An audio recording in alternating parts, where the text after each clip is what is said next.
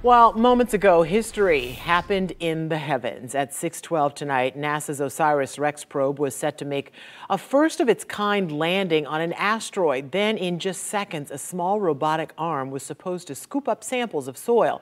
In a few months, it is set to send those samples back to Earth. OSIRIS has already discovered signs of water on the asteroid Bennu and has been orbiting for the last 2 years. Now, this is the big day in an $800 million mission that launched from the Cape four years ago. And here's the moment so many have been waiting for. Touchdown declared. All right. Sampling is in progress.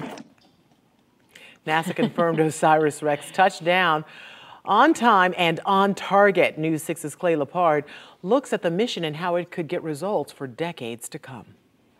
Three, two, one. Four years ago, OSIRIS-REx launched and liftoff of OSIRIS-REx from Cape Canaveral Air Force Station to boldly go to the asteroid, beginning its mission to collect a sample from the asteroid Bennu.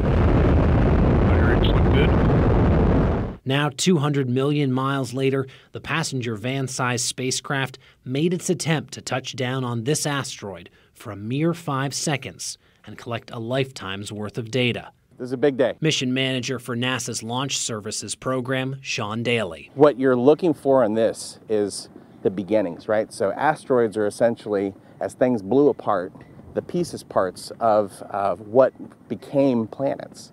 So they're looking for the origins of life.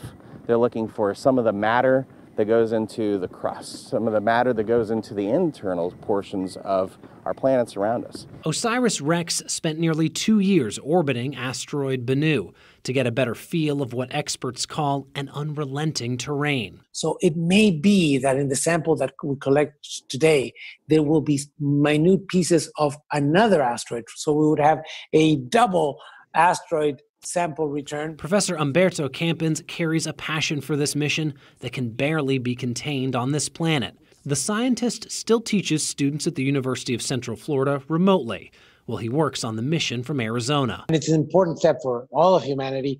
We're going to a primitive asteroid that's going to answer a lot of questions about how the solar system formed, how uh, water and organic molecules were brought to Earth by asteroids and comets, and how life might have formed and evolved here on Earth. Scientists hope a sample could return to Earth by around September of 2023.